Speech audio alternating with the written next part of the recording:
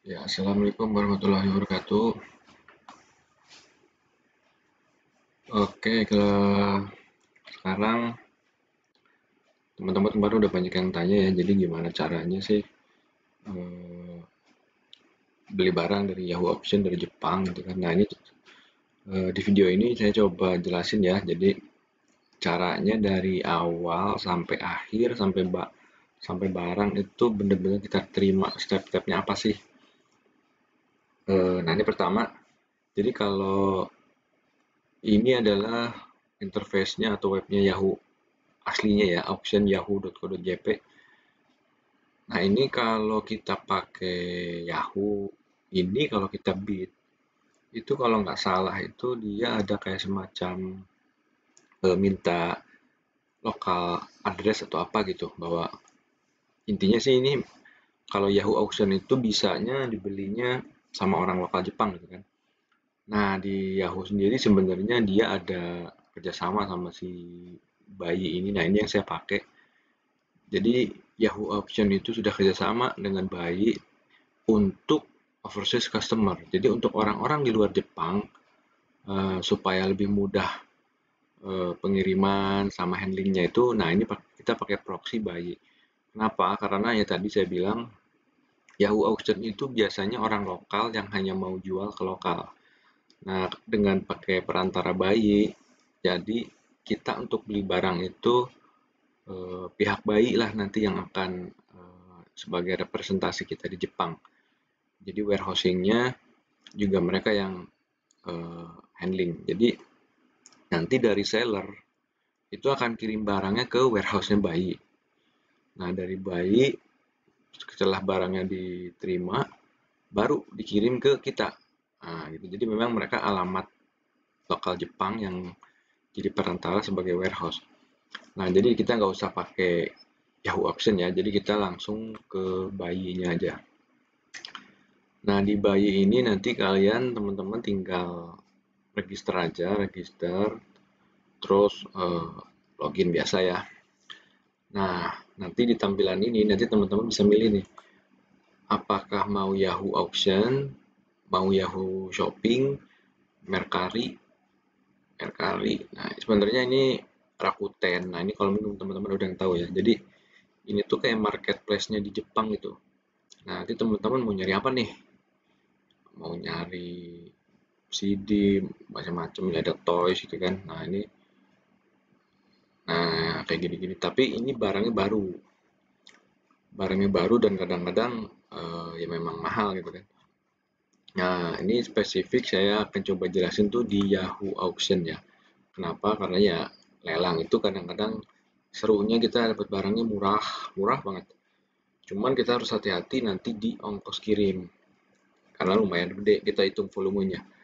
Nah, oke okay ya, langsung ya. Jadi teman-teman nanti udah punya akun nah tinggal nanti di search aja mau nyari apa nih. Nah ini contoh. Ini ada kategori. Nah ini contoh ya ini karena kemarin saya lihat-lihat. Nah ini contoh kita buka. Nah ini jadi nah ini kalau nanti teman-teman masih bahasa Jepang di translate aja ya. Nah ini tuh nanti keterangannya gini misalnya ini barang harganya 4100 yen gitu kan.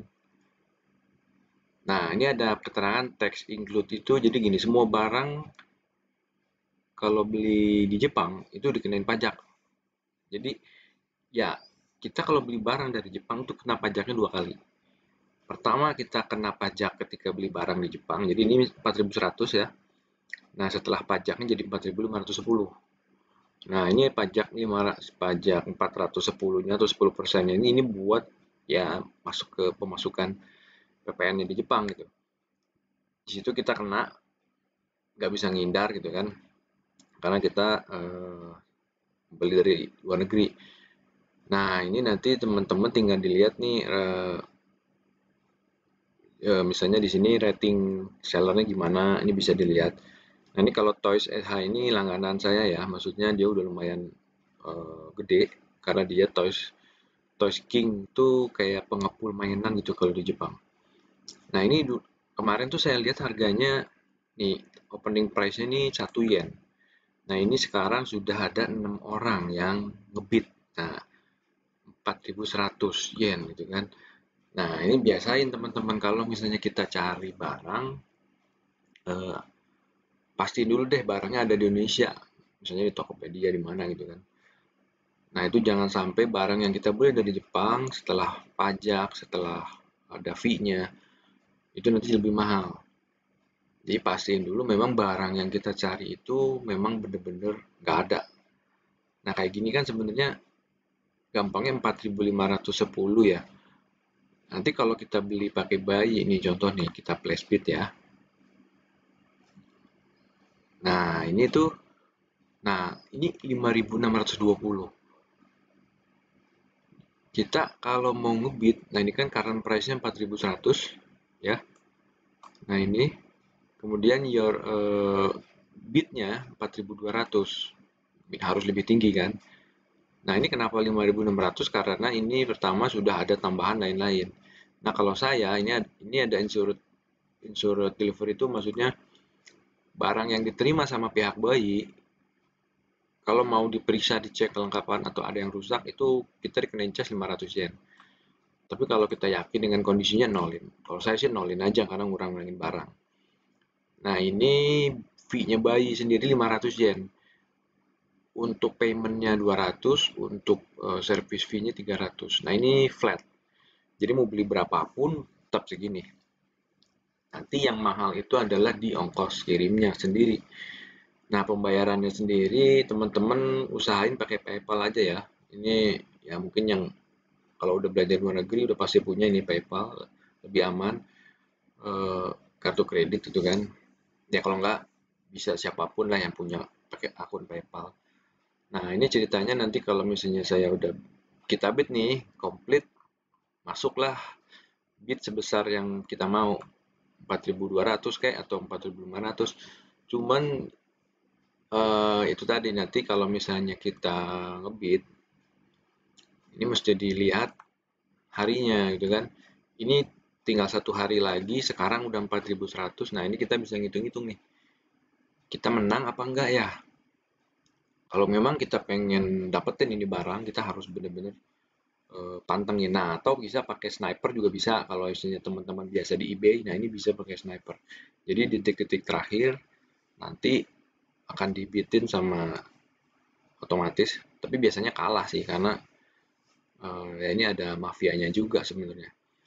Nah ini jadi teman-teman nih kita balik lagi ya. Misalnya kita cari apa ini kita contohnya yang benar-benar uh, apa ya?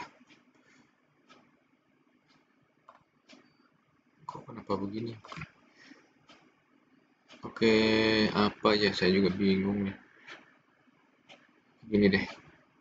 Ini kan biar iseng-iseng ya sampai ngebit nah ini kita nah ini teman-teman misalnya saya mau nyari Tamiya nanti teman-teman terserah deh apa yang menjadi tertarik nah ini kita cari aja yang murah gitu kan. Biasanya yang murah itu kondisinya agak jang. Nah ini biasanya RC jang itu nanti. Nah ini teman-teman kalau misalnya nggak ketemu kadang-kadang ini kan karena web Jepang ya kadang-kadang mereka tuh nulisnya pakai bahasa Jepangnya gitu katakan atau hiragana. Nah itu bisa ditranslatein aja. Nah ini kan nggak ada tuh nyari nyari apa ya. Uh, ini aja deh. Ini kita tes ya dari awal sampai akhir gimana sih? Nah ini kita cari dulu bitnya yang menarik buat buat contoh. Yang harganya murah gitu kan. Misalnya nah ini misalnya harganya Tamiya TR07 ini 1000 yen gitu kan.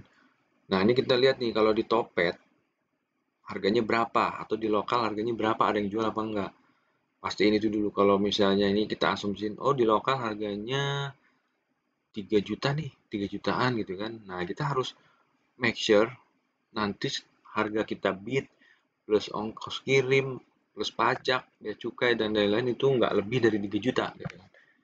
Kecuali memang barangnya nggak ada ya. baru boleh deh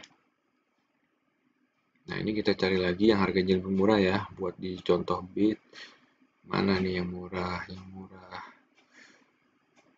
nggak ada yang murah ya. Ini kadang-kadang barang muncul murah kadang enggak gitu kan. Eh nah ini. Satu yen gitu kan. Nah ini kalau yang satu yen gini biasanya kondisinya udah kayak begini gitu kan. Nggak jelas. Jangan inilah kita coba cari yang lain. Contoh ya. 7000 7000 atau dari sini deh kita dari Nah ini ini toko langganan ya di Toys EH ini banyak loh barang-barang yang bagus-bagus. Nah lihat nih, tuh harganya murah-murah guys. Nah, nah ini misalnya action figure. Kalau yang suka action figure ya Star Wars. Nah ini apa nih? Nah ini kita cari. Nah ini kan saya spesifik aja biar. Jadi nyari RC di toko toys ini. Nah ada nggak nih barang yang menarik? ding dung ding dung ding dung nah nah inilah contoh lah ya. Kita akan beli ini karena harganya murah cuman 1760 oke? Nah ini kan satu hari. Oke sehingga satu hari. Semakin banyak hari semakin banyak eh, kemungkinan biddingnya naik jadi kalau kita makin mepet harinya, biasanya tuh di jam-jam atau menit-menit terakhir baru tuh rame. Ya, kita tes ya, ini 1600 flash bit. Oke, nah ini nggak usah. Nah kan jadi 2000 yen tuh, karena 500-nya ini misalnya komplit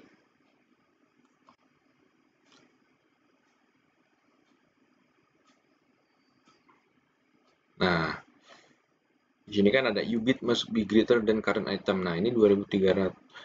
Karena saya nawar 1700. Nah, ini berapa nih teman-teman berani? 1900. Ya udah deh. Kita gas. Masih mau nggak dia? Oke, ternyata nggak bisa. Ini artinya ada orang yang pakai sniper nih. Berarti dia kita harus lebih gede dari 2000.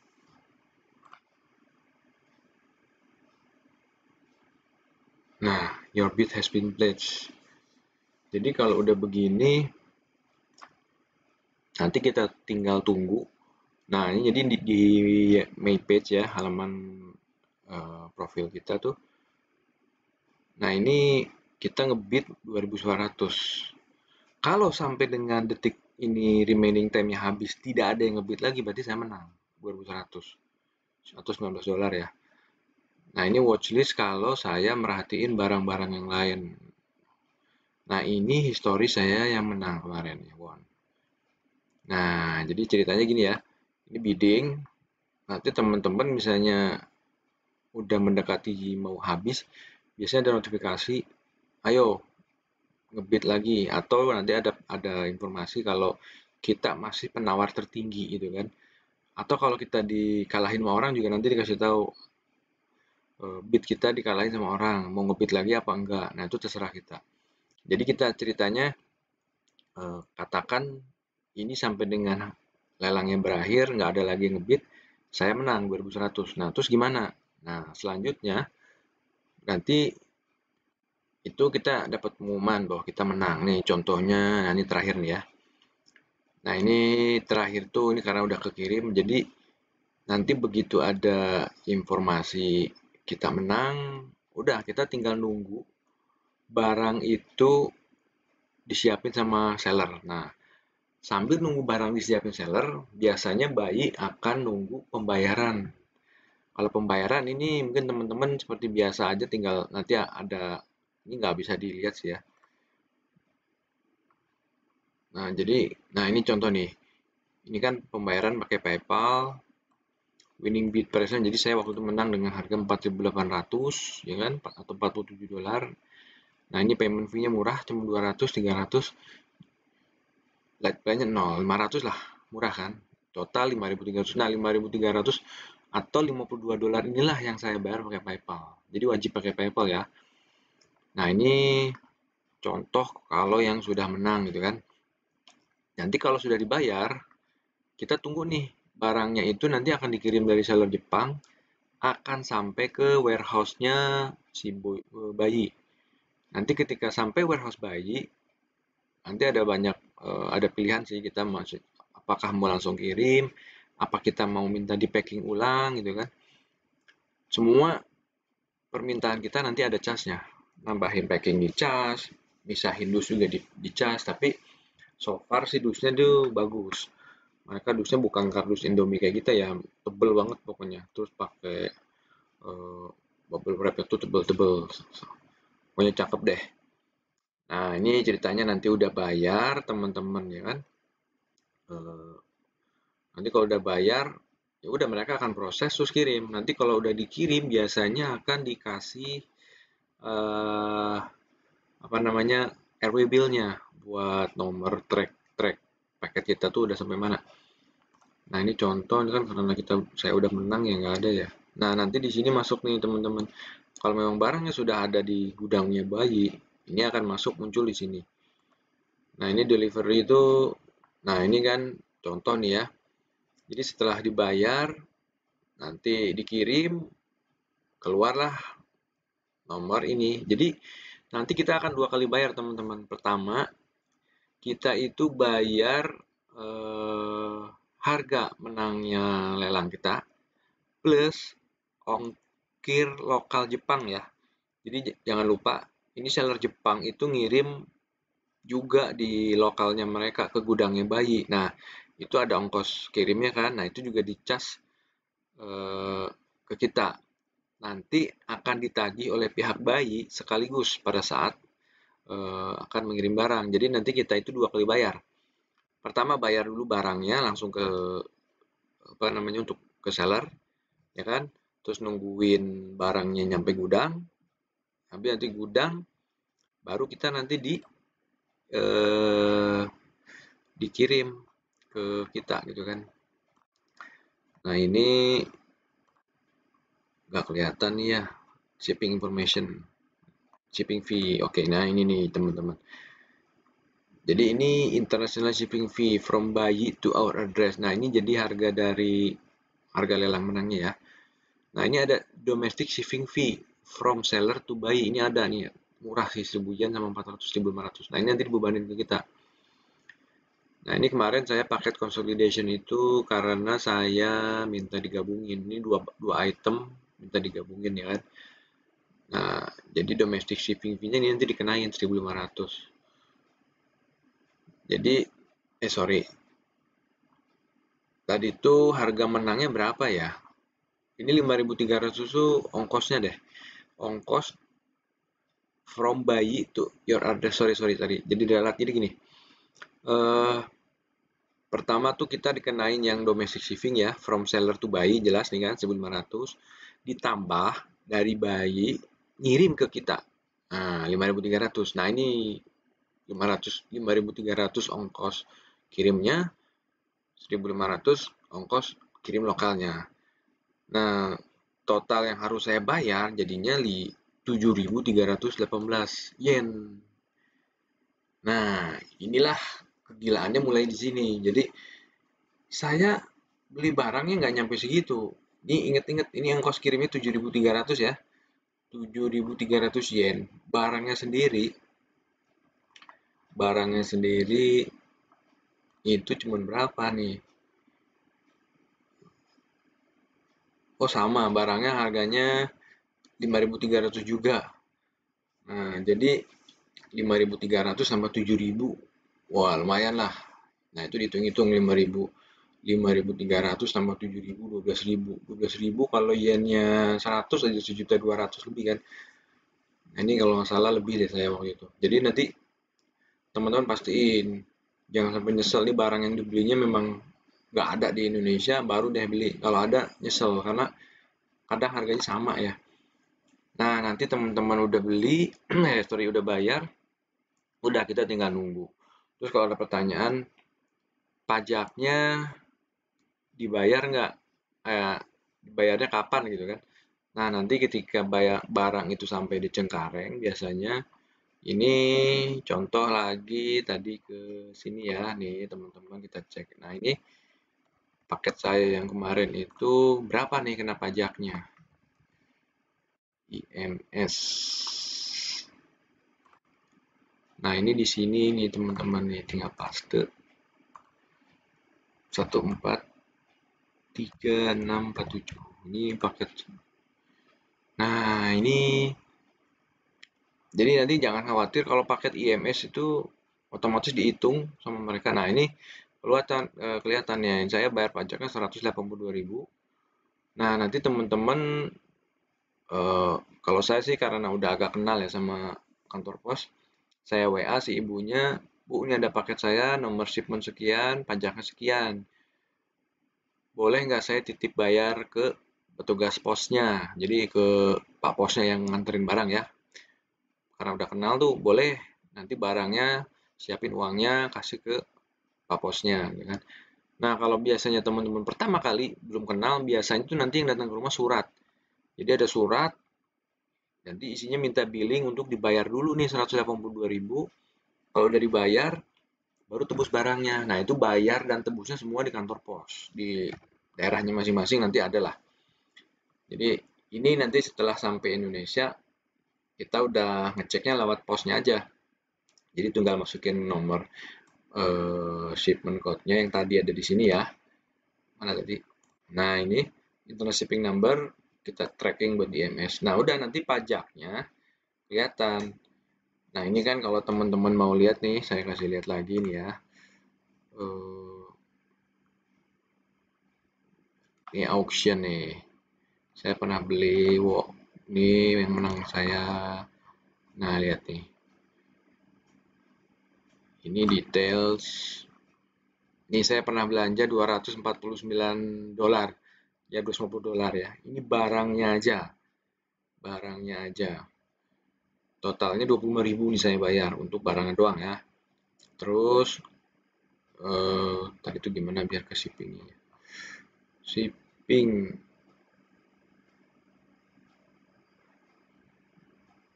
My page. Nah delivery. Kita lihat untuk barang yang tadi pertama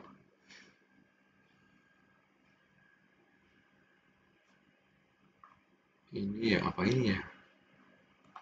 Coba kita lihat. Nah ya benar nah ini teman-teman kita lihat nih.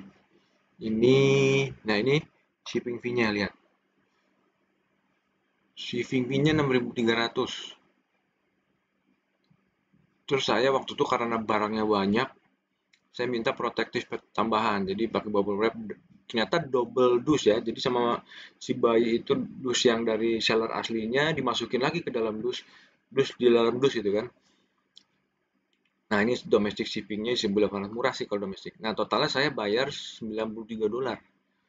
Nah 93 dolar ini ongkos kirimnya saja. Barangnya sendiri tadi saya bayar 250 dolar. 250 sama 93 udah hampir eh, berapa tuh Kalkulator 250 tambah 93 udah 343 gitu kan? Nah sekarang berapa pajaknya? Nah ini pajaknya. Aduh, pajaknya ini segar banget ini waktu itu hampir 2 juta kalau nggak salah itu. Jadi tarifnya itu mereka pakai kurang lebih itu 18 sampai eh, oh enggak dia nggak sampai 2 juta. 737 ribu. Tapi saya bayar dua kali dia perasaan ini. Oke lah. Yang 737 ribu ya. Nah jadi 343 dikali katakan dolarnya 15 ribu. 5 juta kan? 5 juta ditambah 737 ribu. Nah jadi 5,8 juta guys. Saya bayar barang barang barang barang barang tadi namanya ini. Uh, saya waktu beli body RC nah ini nih. Udah nggak ada barangnya. Ini kan you won the auction. Uh, ini saya perang waktu sama orang nggak tahu dari mana. Pokoknya bit bit bit bit tahu tahu 232 dolar. Cuman saya yakin saya pengen banget barang ini waktu itu. Nah ada banyak sih body body RC gitu.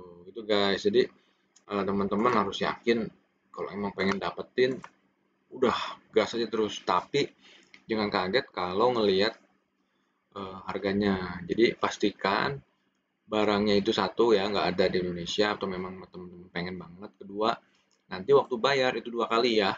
Barangnya sendiri sama ongkosnya sendiri itu pisah. Nah ini ongkosnya aja saya kena 93 dolar barangnya sendiri tadi waktu menang 22.000 20 232 dolar ya tadi ada ya tadi ada itunya kan nah Nanti untuk pajaknya teman-teman tinggal ngelihat di sini di IMS.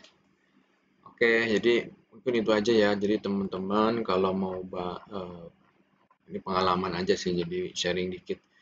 Jadi jangan takut kalau emang pengen belanja atau nyari barang di luar negeri.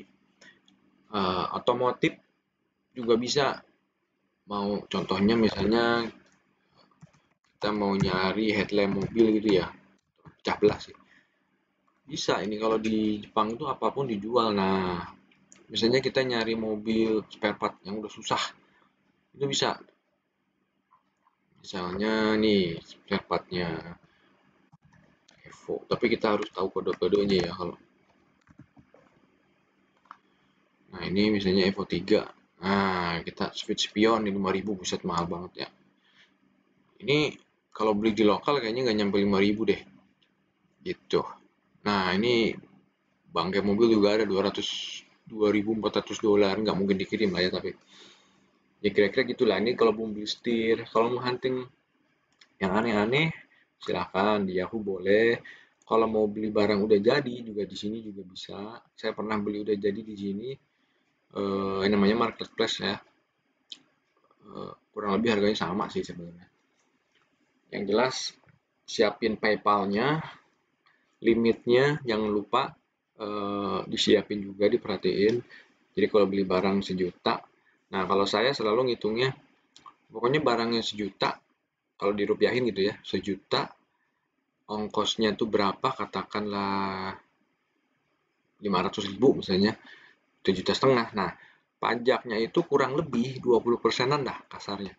Jadi nanti teman-teman 1 juta plus 500 dikali 20% berarti 20% kali eh, juta setengah tuh sekitar 300 ribu kan. Nah berarti nanti total tuh barang 1 juta tambah ongkos kirimnya tambah ininya 1,8 nah 1,8 tinggal dibandingin ada nggak nih di sana lokal yang jual kalau ternyata ada ya beli di lokal aja. Apalagi harganya cuma 15 16 gitu.